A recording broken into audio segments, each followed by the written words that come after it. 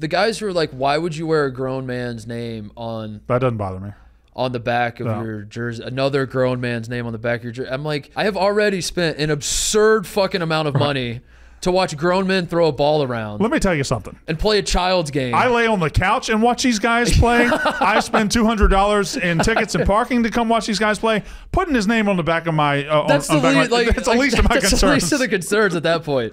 Like we've already I reached clearly am obsessed with this guy or these guys. It's Yeah. like that. This doesn't prove anything. I skip family members' weddings on fall Saturdays to watch 19 year olds fucking throw a football around.